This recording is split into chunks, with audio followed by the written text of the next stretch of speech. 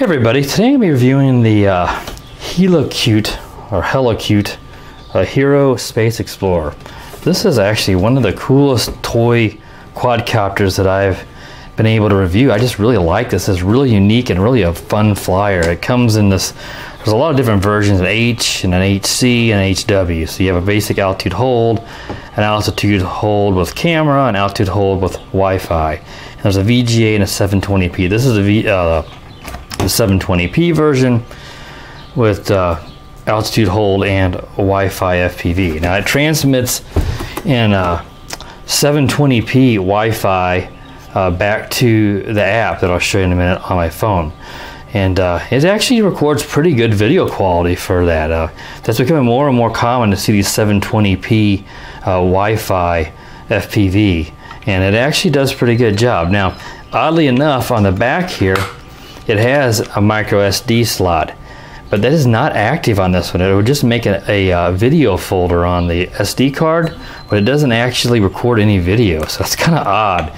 Um, that's one of the very few negatives I could say, though I really have a hard time being too critical since this particular version is not advertised to record the SD card. But since it's included on the board, I don't know why they didn't go ahead and just make it active because you'll get a better video quality at any time you can record locally to the SD card. It has a very unique design. The rear props here are uh, higher than the front props. I've never seen that before, but it flies really, really nice. I mean, super stable and uh, uh, very agile, I think, you know, for its design. And it looks really cool too. It has these really nice LEDs. It's got red in the front and it's got green in the back. And of course, that's the way it's labeled here. I just want to make sure that they didn't have it backwards from the uh, plastic. Um, it's got, um, you know, it's got one yaw rate though. It doesn't increase with the rates, but it's a pretty decent yaw, so I don't have a problem with that. It's got a three rates, you know, low, medium, high, or uh, beginners, intermediate, expert. And uh, it flies pretty nice. It got a nice amount of pitch to it in the highest rate. And you really need that when you're flying this in the wind to fight the wind because it doesn't do particularly well in the wind. But overall, it's unique. It's got these three landing gear here. So as you set it down, hopefully it'll show up a little better on the other camera here. It just uses those three landing gear and it does a very nice auto landings. It shuts off immediately. So I'm very pleased with the way that this thing lands. Just going to glance my notes over here some more. Um, it comes with a 1000 uh, milliamp our uh, 1S LiPo. And that's a pretty big battery for a toy grade quadcopter. Um, you know, this thing is not not very heavy, so you know, it, it just flies very long. You're looking at 10 to 12 minutes flight time with this big battery. And it just uses a JST plug, so you don't need to use a stock charger. If you have a hobby grade, this JST plug is so common, you can just straight up charge that at uh, one amp and charge this thing up in you know half an hour or something where the provided charger here is a uh, USB wall charger with the JST plug and this is gonna this takes you you know several hours to charge up with this because it charges at a much lower amp than a hobby grade charger. It also comes with some spare props just a full set of you know spare props and a Phillips screwdriver for repairs, and I think that's also, yeah, for taking the screw out to put the batteries in the back of the controller. It also comes with four, I still have them taped in because I'm not a fan of using them, but it's got four prop guards you can see here in the box. They're still taped in. Like I said, unless you're flying this indoors or around a lot of trees or something, I don't recommend them, or if you're a beginner, so I don't use the prop guards. Um, let's go over the controller now. The controller is uh, really fits really nicely in the hands. Uh, very comfortable. It's not, you know, real, you know, it's not really awesome looking, I guess you could say. It doesn't have a bunch of you know, labels or anything or fancy buttons, but it works really well. It's got a couple LED lights here on the front. Um, you just turn it on, on the bottom here. You can see it lights up the blue and the red. And you've got on your buttons here, let me just look at my sheet to make sure I don't forget the controls, but uh, you've got your speed selects, your rates here by pressing in the left stick, and that gives between your three rates, one, two, and three beeps.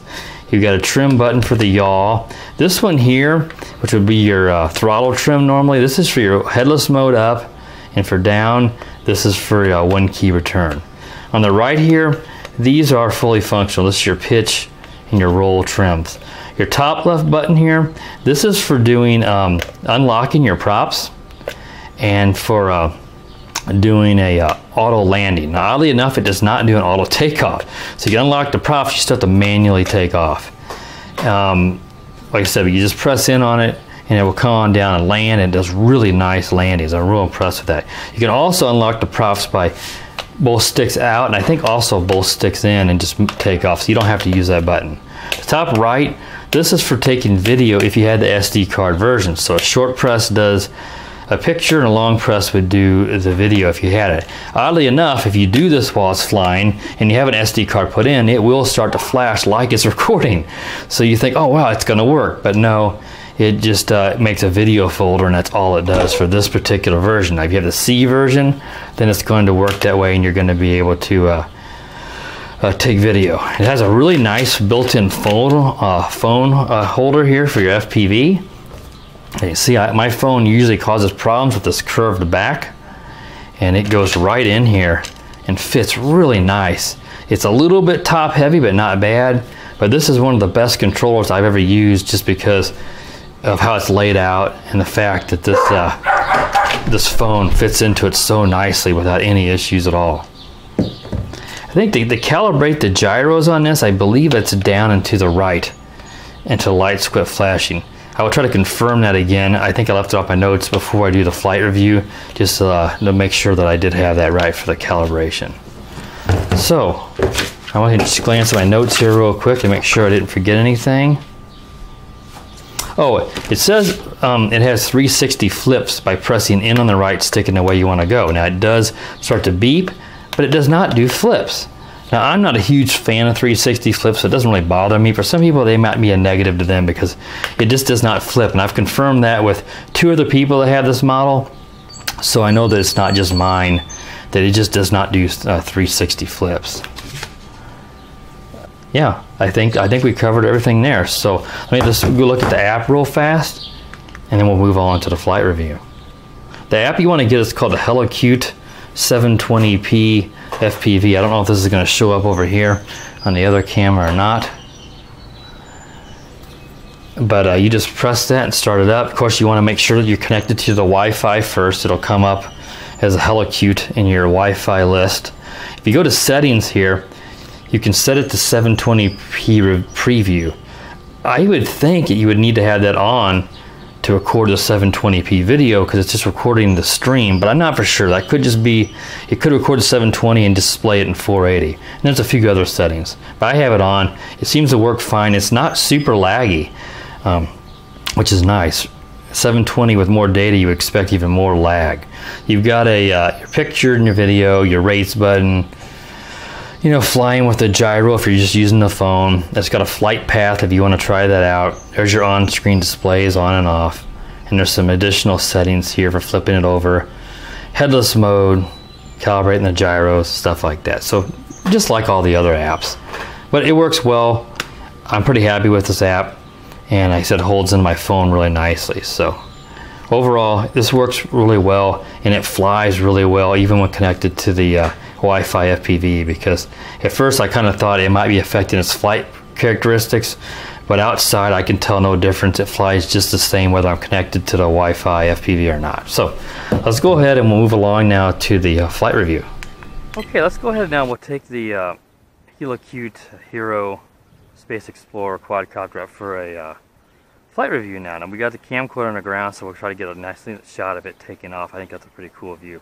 I've got it bound up with the controller and with the uh, FPV. And uh, I said, I think the FPV works pretty decent on this, especially for 720p. So, um, one thing I wanted to mention before I took off, as I said at the table, if I had the gyros uh, calibration wrong, I would mention that. It is actually down to the left is what it says in the instructions. You're not going to be able to see it there on the ground. Uh, the LEDs, just here in the day, it's not bright enough. You know, the LEDs I think are pretty cool, and especially in low light, they look really nice especially for a 1S LiPo. So let's go ahead now and we'll start recording video. And it's recording the FPV feed. We'll go ahead and we'll unlock the props. I'll use the, uh, you can see how I'll show you. You can unlock them like that. You can unlock them by going in and stop, or you can use this top left button. So let's go ahead and we'll use the top left button, and we'll go ahead and take off. It's taking it a moment just to kind of get its uh, gauge its altitude. Now that's the lowest rate. I'm gonna go up to the highest rate. Now I see I can start moving forward. I was fighting a bit of a breeze there and on the lowest rate it did not have enough pitch. So I had to put it full pitch just to keep it the whole position. So I would not recommend the uh, the lowest rate unless you are flying this in a large open indoor area. There's the yaw on the highest rate. I'll go back to the lowest. You can see the yaw is just the same. So there's no difference in the yaw, but it's it, it's not bad in my opinion. And like I said, now it gets a really nice flight time. you know, at least 10 minutes. I can see the LED is actually pretty good here on the, on the arms for it being, uh, you know, pretty we're looking around 5.30, 6 o'clock time here in the summer, so it's still very bright out. and it's uh, the LEDs are pretty nice. But I wasn't able to see them on the ground doing the gyro. They just weren't quite bright enough to flash against the concrete and be able to see it. now the, uh, I will show you the 3D flips that it doesn't do it. You press down and hear it beeping and it does nothing. I'm just giving it pitch and roll and then it stops. So for some reason they have disabled that. It could be they originally included it as a feature and then they found out that it just did not do flips good enough and maybe it caused it to crash and that it just wasn't something they needed to include and they took it out and just didn't remove it. They may have already imprinted the instruction manuals. You see that a lot with these products. The instruction manuals are just not quite accurate. They've made changes and they did not make notes of it. This is the first uh, quadcopter or anything RC I've had from this brand. I've never heard of them, but I'm super impressed. You look how stable that is. I've got my hands off. I'm just letting the uh, the breeze push it. that's fighting into the wind at, at, the highest rate. See, it's it's not real quick into that breeze, but there's probably, you know, an eight to 10 mile per hour breeze. So it, it gets along, but it's not super fast into that wind. Just to confirm, there we go, yeah, that I had it in the highest rate.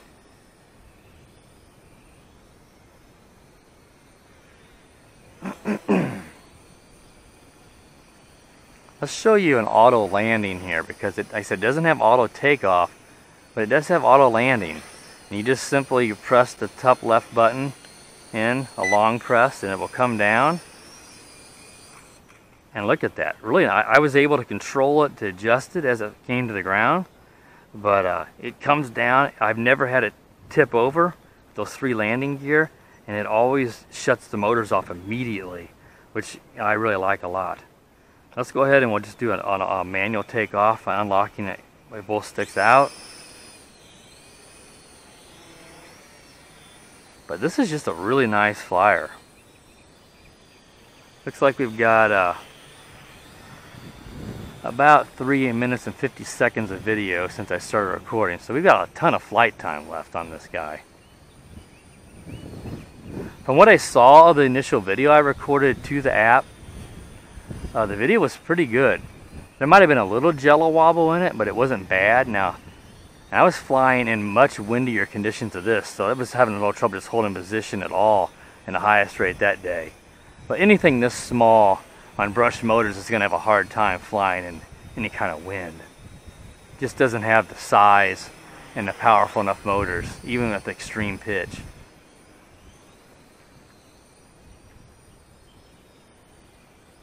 But this is a nice, nice quadcopter. It, it bounces a little bit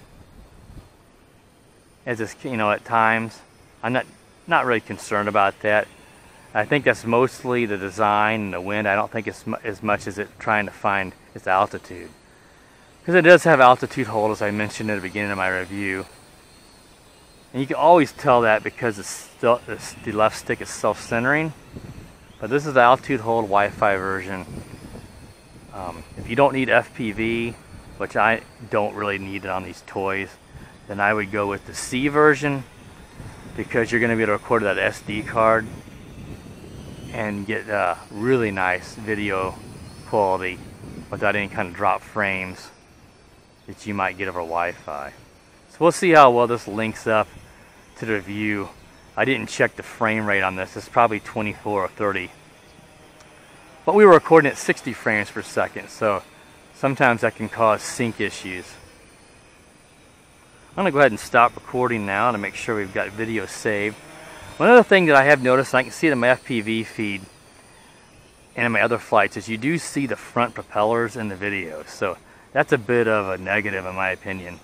Um, you'd like an unobstructed view. It's not a, it's not terrible, as you can see here in the video. It's at the top, but uh, you can see the props. But that you know lower prop, higher prop in design but you know, the camera's just located here in the nose of the quadcopter. But it seems to help out with the jello. But it'd be nice if they had mounted a little different to uh, eliminate that. But really my, my biggest issues really are just the, uh, the props in the camera, the, uh, oh, let's see, the props in the camera was, was one of them here I said. I'm having a bit of a brain lapse here the lack of 3D flips, you know it says that it has those. And a micro SD card being in there but not active in this version. So that's a lot less one because it's not supposed to have SD. But if they're going to include it, why not just go ahead and make it active? Yeah, I think that's enough to show this guy off. Look at it, it's just really nice, really cool looking, very unique design. And I'm a, I'm a big fan of this. This is my favorite toy grade drone that I have right now. And one of the better ones I've had altogether. With that big battery, you get a really nice long flight time. So, I'm gonna go ahead and do an auto landing here.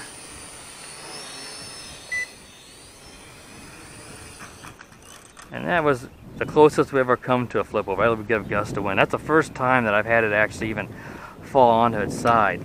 But that's not gonna hurt anything at all. Because it kills the props immediately, you don't have to worry about it chopping up your blade. You see this thing looks, I mean I've flown it several times and there's absolutely no damage to these props at all.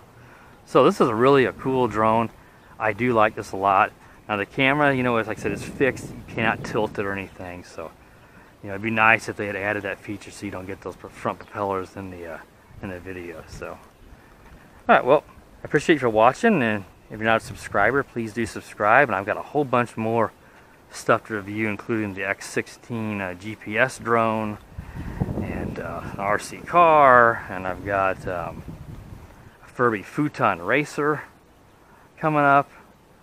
Um, so I got a whole bunch of stuff that's coming. So stay tuned for more and have a good day.